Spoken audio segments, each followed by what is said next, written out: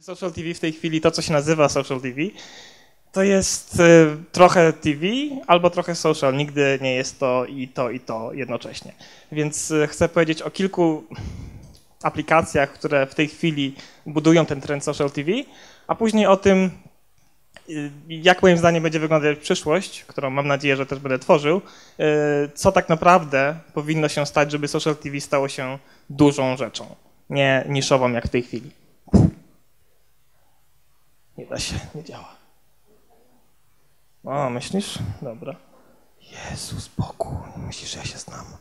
Dobrze, powiedz mi. Zepsułem, jak zwykle. A ty zepsułaś. Dobrze. Yy, ok, first screen to telewizor, second screen to tablet albo telefon, słowniczek, yy, HBBTV, to za chwilę powiem.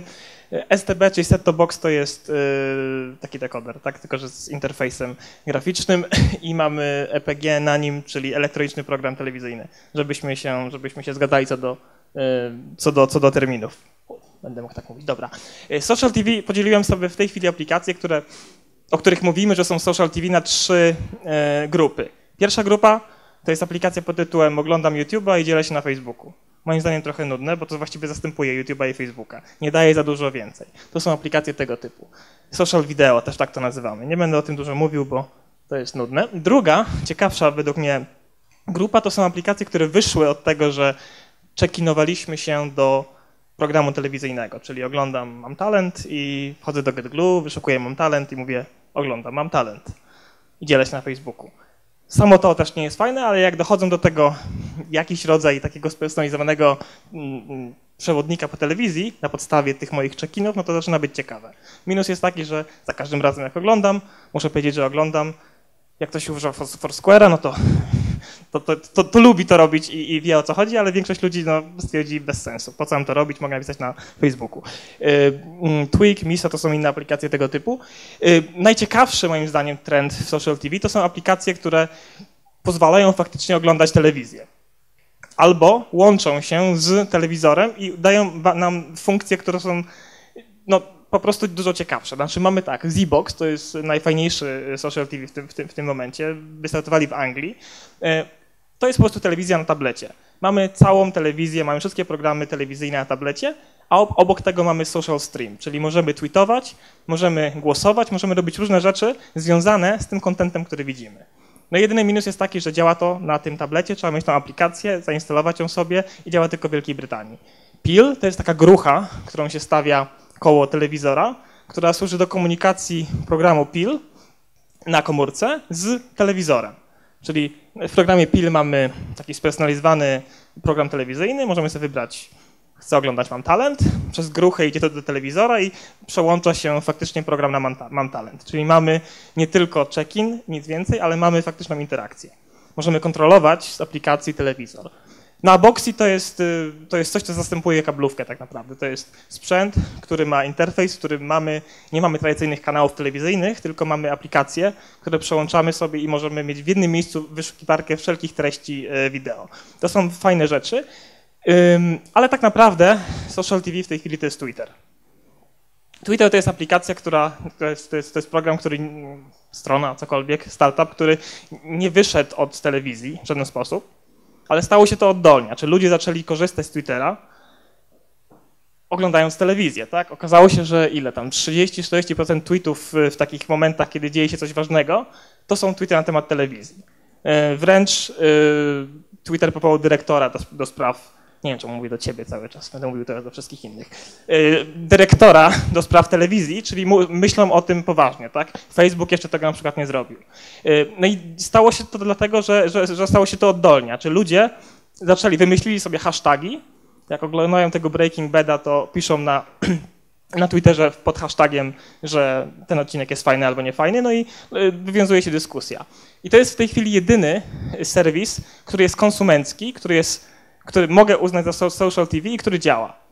Aczkolwiek to jest tylko 3% realnie e, oglądających telewizję w Stanach ludzi. Czyli to jest rzecz mała, mimo wszystko. Czyli mówimy o trendzie, który dopiero powstaje, który ma ogromny potencjał, ale który, który się dopiero kształtuje. E, I dlaczego to nie działa? Pierwszy, pierwszy, znaczy najważniejsze moim zdaniem to jest ten ostatni punkt, ale zacznę od końca. Czyli brak integracji z telewizorem, albo jest ta integracja, ale jest bardzo ciężka, bo trzeba kupić sprzęt, trzeba go zainstalować, trzeba sobie, trzeba sobie to skonfigurować. Normalny człowiek tego nie będzie robił. To musi być out of the box. Druga rzecz, sam check-in to nie jest nic fajnego. Musi, trzeba dostarczyć więcej, żeby normalny użytkownik chciał z tego korzystać, żeby widział w tym wartość. No i no po prostu mało ludzi z tego korzysta z tego powodu. No i również z tego, że y, to nie jest internet. Internet jest otwarty, internet można hakować, telewizji hakować bardzo trudno, no bo w telewizji mamy kilku dostawców tak naprawdę, to jest oligopol dostawców treści. No i tak jak mówił mój przedmówca, trzeba się dogadać z tym dostawcą treści i ze wszystkimi dookoła, żeby zrobić coś fajnego, zintegrowanego. E, ten slajd, nie wiem po co tu jest. No a mimo wszystko, mimo wszystko, teraz się będę kręcił w kółko, mimo wszystko Mashable powiedział, że e, w zeszłym tygodniu opublikowany został artykuł, w którym jest mowa o tym, że pierwszy trend, najważniejszy trend w przyszłym roku w tech e, to jest, to jest social screen revolution. Drugie miejsce to było big data. Co ciekawe, robimy trochę tego, trochę tego w Filmasterze. Dlaczego oni tak uważają? Moim zdaniem myślą o tym, że... Znowu na ciebie patrzę. Dobra, będę patrzył gdzie indziej. Będę patrzył na ciebie, Michał. Yy, wydaje mi się, że myślą o przyszłości, znaczy o tym, co się stanie tak naprawdę w najbliższym czasie, że znaczy to, co się stanie, to, się, to jest dokładnie to.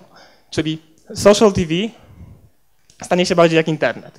Będzie spersonalizowane, będzie społecznościowe i po trzecie będzie zintegrowane z telewizją. I teraz powiem o tym, o, nawet się udaje tak, tak przełączać. Teraz powiem o tym, jak to powinno wyglądać według mnie.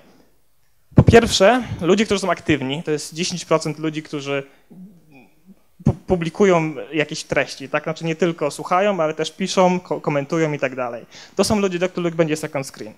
Oni będą I to musi być second screen, który będzie zintegrowany z prowajderem, czyli second screen, który dostarczy wam albo producent telewizora, albo producent, albo dostawca y, kablówki. Czyli to jest osoba, to jest firma, która będzie kontrolować to, co oglądacie, będzie wiedziała, co oglądacie i na tej podstawie będzie mogła zintegrować second screena z tym pierwszym ekranem. Inaczej moim zdaniem to nie ma szans zadziałać, po prostu. No i na tym second screenie będziemy mieli, tak jak też mój przedmówca mówił, spersonalizowane y, treści, czyli włączamy second screena i wiemy, co obejrzeć na podstawie tego, co oglądaliśmy na pierwszym ekranie, bo obie rzeczy są zintegrowane.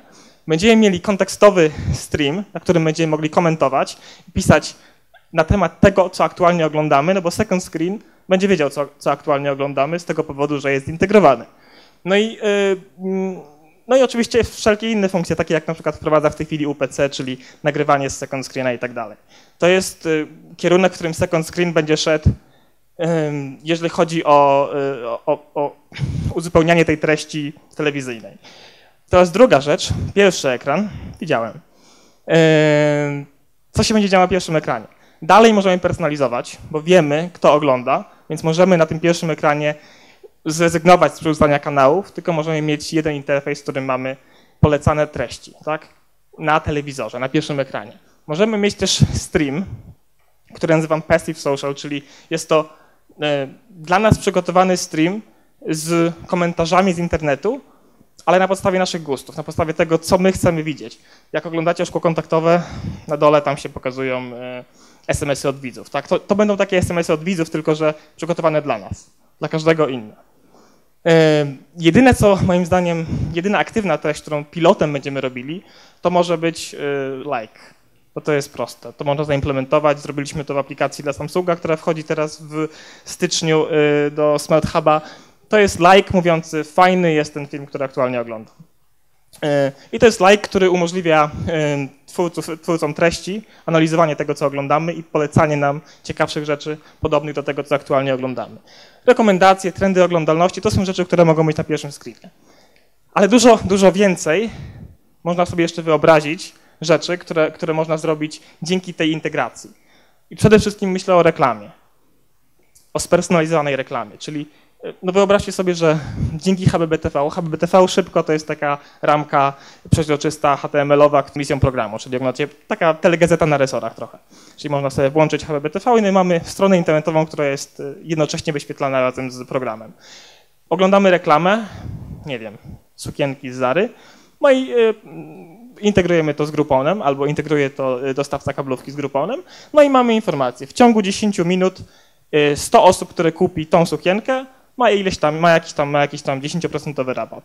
Mamy reklamę telewizyjną, która jest jak reklama internetowa. Jest, można ją mierzyć, wiemy dokładnie ile osób zobaczyło, ile kliknęło, ile się zainteresowało i tak dalej. Jestem wielkim fanem Ewy Drzyzgi, oglądam codziennie rozmowy w toku.